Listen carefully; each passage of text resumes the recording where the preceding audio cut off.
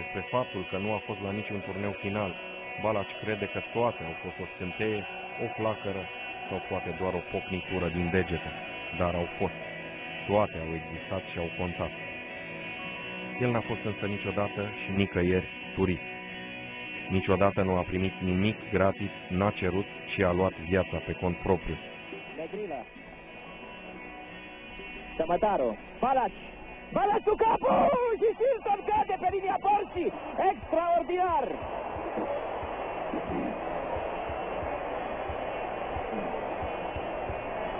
În minutul 34, Balaci trimite cu capul și portarul englezilor cade pe linia porții, salvând în ultimul moment cu mâna. A doua zi într-un ziar, nu mai știu ce era de, de ziar, da? Era fotografia scuită din spatele știi? În momentul în care mingea era undeva la microscop și era în picioare și pe spate, nu, pe spatele lui se vedea dunga aia de la Punctele erau calificat, noi, și Anglia era afară. Sau Anglia era obligată să bată ultimul meci Ungaria. Balaci știe că totul a fost o victorie, chiar dacă tabela la sfârșit, la sfârșit de tot, poate a arătat uneori și altceva. În 1982, anul de glorie al lui, Gabriel Garcia Marquez primea Nobelul pentru un veac de singurătate. Ilie nu a fost însă singur, dar a făcut deseori mai mult decât o echipă. Mircea Lucescu spunea că Dobrin avea nevoie de public, Hagi de o săgeată, Dumitrache de instinct. Balaci n-a avut nevoie de nimeni, își era singur fieș de ajuns și a citit singur opera pe măsură ce a scris-o.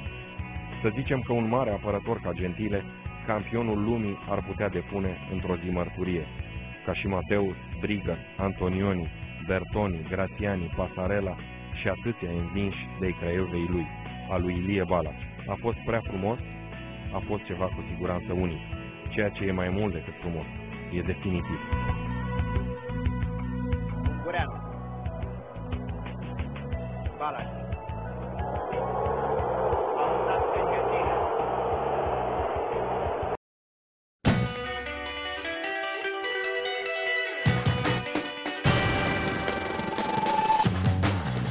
Fi tentat să spun că a fost cel mai mare. Un jucător fabulos, într-o echipă fabuloasă, cu suporteri fabuloși, ai un oraș fabulos.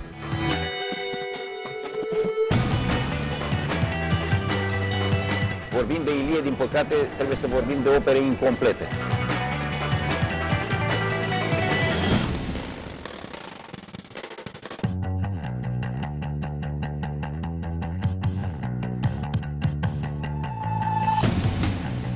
Jucător de excepție, unul dintre cei mai mari care a avut România.